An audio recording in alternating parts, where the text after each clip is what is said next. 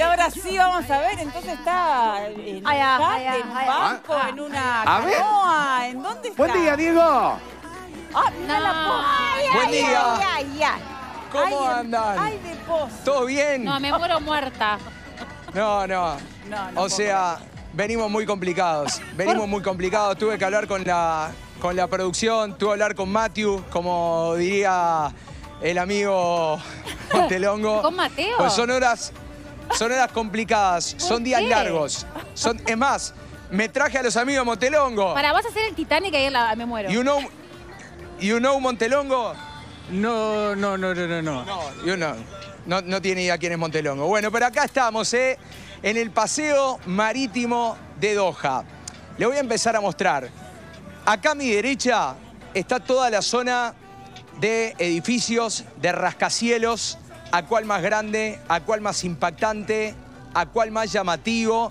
Es la zona comercial, donde están los principales bancos, donde están las principales empresas. Y estamos recorriendo lo que es el paseo marítimo llamado La Corniche. Seguramente ya muchos de ustedes han podido escuchar de lo que estamos hablando. Acá se concentran, bueno, prácticamente todos los fanáticos que vienen a disfrutar de la, de la Copa del Mundo. Es un lugar verdaderamente increíble, con paisajes verdaderamente espectaculares, por lo que son los rascacielos, por lo que son esos edificios verdaderamente impactantes.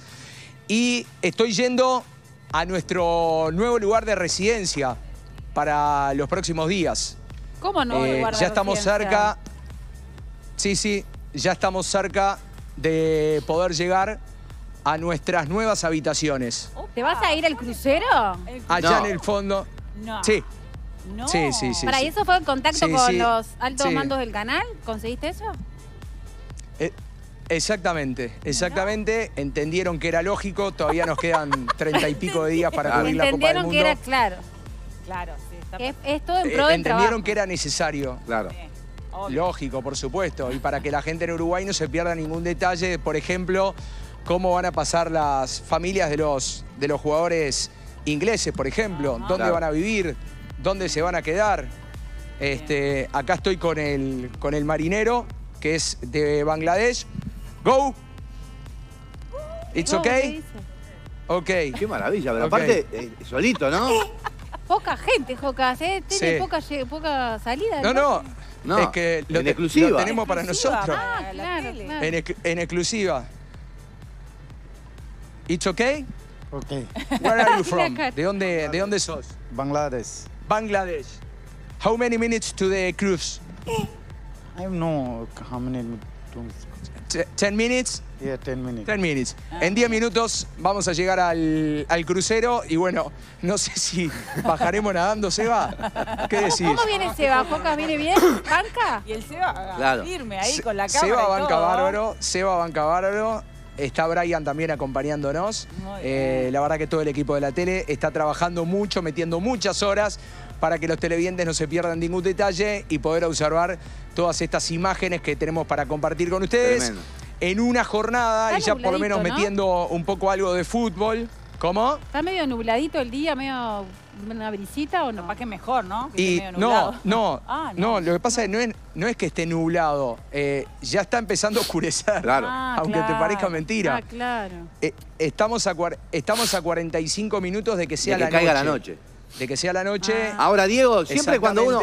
Cuando uno viaja, eh, te lleva un tiempo, ¿no? Acomodarte, a veces con el tema del clima, también aclimatarte y todo. A vos no te llegó absolutamente nada. Llegaste ya súper aclimatado. Sí, sí, la verdad que no, no hubo mucho tiempo para. No hubo mucho tiempo para aclimatarse. ¿Cuántas La verdad que no hubo mucho tiempo para aclimatarse. Pero bueno, la realidad es que más allá de lo que significa el trabajo, el trabajo diario, porque son muchas horas de, de laburo y es algo que lo hacemos porque lo disfrutamos. No deja de ser un, un trabajo en un lugar distinto donde seguramente pocos iban a conocer si no fuera por la Copa del Mundo. Claro. Realmente, si vos te digo, un lugar para irse de vacaciones, Qatar, y no, y seguramente no elegís Claro, no lo Qatar, a pesar de los lugares buenísimos que tiene para, para, poder, para poder estar y para poder venir. Diego, hay Pero después nos vamos sorprendiendo. Hay más gente, ya llegó más gente, obviamente, ¿no? El domingo ya arranca, ¿no? Me imagino que sí. Claro, ya hace una semana que vos estás ahí. Sí. Imaginamos que el movimiento ya es otro, Diego, ¿no? está yendo Susana y, y- y la China, te aviso. Para que estés atento. Ah, bueno, perfecto. ¿Tenés el lugar de alejamiento de la China, sobre todo? Te averiguo, te paso por interno. Perfecto, perfecto. Vamos a ver si la, si la podemos encontrar. Bueno, de hecho, ayer por la noche, en la madrugada, dos y media de la mañana, eh, llegó la selección argentina después de haber jugado el partido ante los Emiratos Árabes Unidos ayer en, en Abu Dhabi. Uruguay va a llegar acá, seguramente ustedes van a tener la chance de conversar con José Carlos en un rato. El sábado a las 10 y media de la mañana estará llegando la selección nacional para ya alojarse en el Hotel Pullman y empezar definitivamente los últimos días de preparación para lo que será el partido frente a Corea. Hoy uno de los rivales de Uruguay, la selección de Ghana, terminó ganando 2 a 0 en el último amistoso previo al arranque de la Copa del Mundo. Recuerden que Ghana será el tercer rival que va a tener nuestra selección aquí en, en Doha el día 2 de diciembre. Pero con respecto, Cuca, a lo que me preguntabas vos recién, Sí. de si ya llegó mucha gente, te diría que sí. Eh, y mañana seguramente, mañana seguramente ya vamos a tener un montón de uruguayos aquí en Qatar, porque la gran mayoría estaba viajando hoy. eh, desde Montevideo están saliendo también un montón de, de compañeros en este momento desde el Aeropuerto Internacional de Carrasco. Y entre mañana viernes y el fin de semana, seguramente ya un montón de compatriotas estarán llegando. Hay muchos que se van a quedar en uno de esos dos cruceros que recién veíamos. Hay otros que se van a quedar en Dubái, considerando que hay un vuelo de 50 minutos aproximadamente. Eso por un lado. Por otro lado, que el alojamiento es más barato.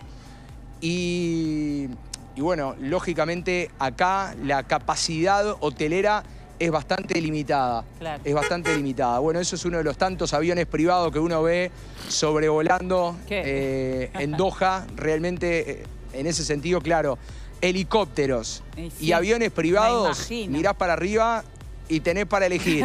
tenés para elegir. De hecho, no, de hecho, hay al lado de cada estadio hay helipuertos. Qué Eh, ¿Cuándo qué fue que fuimos a Lusail? Antes de ayer que fuimos a Lusail, estábamos saliendo del estadio y de repente un ruido y estaba bajando un helicóptero prácticamente que, que al lado nuestro, porque las altas esferas políticas seguramente, bueno, se manejan de, Claro. de esa forma, no sea que se cansen demasiado, no sea cosa que se cansen demasiado, bajan en el helipuerto al lado y ahí un autito, un carrito, lo lleva a, a la zona de hospitality, donde cada estadio ya está preparado con unos palcos VIPs verdaderamente espectaculares para poder eh, recibir a los dirigentes políticos y a los dirigentes del fútbol Bien. mundial también. Diego, ayer, ¿cómo- ayer corrió, perdón, Cuca. Ayer corrió una noticia que no sé si noticia falsa, me la comentaba justamente mi hijo que está ahí. No me decía, mirá que, mirá que es posta. Con respecto a la selección de Ghana, que dice que tuvo un problemita con. Falsa. Falsa, con, con los equipos que no, que no los habían Sí. cargado, decían.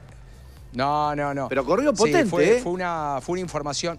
No, fue, fue una información falsa que le levantaron un montón de medios internacionales. Lo que sucedió es que la mayor parte del equipamiento vino directamente a Doha. O sea, en lugar de haber ido para, para Abu Dhabi, fue directa, eh, vino directamente a Doha. Y bueno, el equipamiento de la selección ganesa ya está aquí esperando porque lleguen los jugadores de, de la selección. Pero no, fue una, una información falsa. Fake news, Bien. Coquito, fake news. De esas que hay tantas. Dieguito, ¿cómo sigue tu día? Bueno, eh, hoy hay.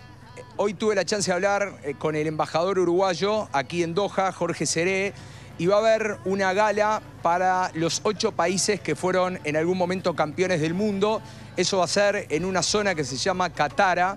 Eh, Seba me contaba que el otro día estuvo, Seba, Seba Ribeiro, uno de nuestros camarógrafos, me contaba que el otro día estuvo y se sorprendió con algunos lugares de, ese, de esa zona, ¿no? Y uno de esos es un supermercado de lujo que hay, no sé si vamos a poder entrar, pero ahí Cata te harías un festín realmente, porque hay productos que no se encuentran, claro, hay productos que no se encuentran en ninguna parte, en ninguna parte del mundo. Claro. Y bueno, eh, hay una recepción, hay una especie de gala, ahí la Embajada Uruguaya va a presentar a la comparsita y bueno, va a haber un evento, eso va a ser en un par de horas nada más. Vamos a ir para ahí, después tenemos un par de notas previstas también eh, más tarde, así que es un día, un día cargadito con mucha información, Saca con mucha fotos, cosa para Joca, poder compartir favor, y bueno, a las 6 de la tarde. Por supuesto, ¿querés hacerme una carta de pedidos? En la carita, te estás poniendo caritas. No juegues No, no, con carita fuego. no, eh. hablá, pues yo no te veo. No juegues con fuego, mirá Yo que no te te veo, no, no me hagas caritas. Buah. Bueno, vos pedí. Bueno, fotito de, qué, de, qué querés, Cata. De todo lo que vea en el súper. Todo lo de súper. ¿eh? Claro. Ah, bueno, todo lo que ve en el súper. Pero ¿a- algún condimento raro, extraño que no encuentres en Montevideo. Algo de todo lo que has leído, libros de cocina, No, no, no. que sabés que en Montevideo no se encuentra. No, hemos encontrado prácticamente todo acá, te digo. eh. Por eso, tráeme cosas que a vos te llamen la atención. Porque vos sos muy gourmet también. Claro que sí, muy Vos bien. sos muy gourmet, Bueno, así que tenés claro. ¿te gustan los dátiles? Sí, Ay, qué rico. ¿Los dátiles te gustan? sí, me encantan. Con chocolate Cuca, dice Seba. dátiles con chocolate. Sí. Trae, trae. Maggie dice sí. Maggie está haciendo un pedido por Coco, interno. ¿algún pedido especial? An- Que anote el ¿Algún cebo ahí. pedido especial, Coco? No, no, no. Sorprendeme, Diego, sorprendeme. Dice Montelongo. Todo lo que venga, Nada. todo lo que Lu. venga de vos, Me este, encantan. bienvenido. Pistachos, traele a Lucía pistachos. Menos Ahí un fondue. están. ¿Salen baratos ahí los pistachos? ¿Me traes? Acá están Caribe. No, son muy caros. No valgo una bolsita No, de pistachos. dice Seba que le erró la conversión y, y pagó 500 pesos. ¿Por qué pagaste 500 pesos, Seba? un cuarto. Un cuarto de pistachos. Anda bien tu cosita. Se ve, que, se ve que el viático de Seba es más grande que el mío. Milanesa de joroba de camello. Caribe, Caribe. Bueno, ¿saben, saben que de a poquito vamos descubriendo lugares un tanto más económicos para poder comer. De hecho, ayer cuando terminamos de hacer el diario de la copa, que eran como la una y poco de la mañana, nos sentamos en un lugar previamente ¿Qué hay que hacer? A ver, le pregunto a ustedes, ¿qué hay que hacer cuando uno está en un país desconocido antes de sentarse a comer en un lugar? Mirar la ¿Qué carta. harían ustedes? La carta del la lado carta. derecho. Exacto, exacto. Eso hicimos.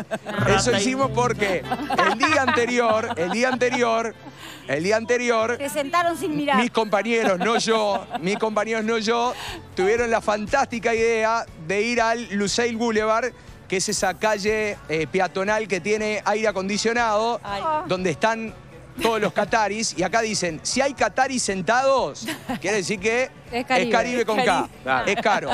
Si ves Nos sentamos, yoruba, miramos la carta. Pará, nos sentamos, miramos la carta. Y después de que terminamos de mirar la carta, ¿saben lo que hicimos? Pararse afuera. Sí, eso mismo. Nos paramos y nos fuimos. Qué vergüenza. Bien, uruguayo. Nos están llamando. Claro se que fueron. sí.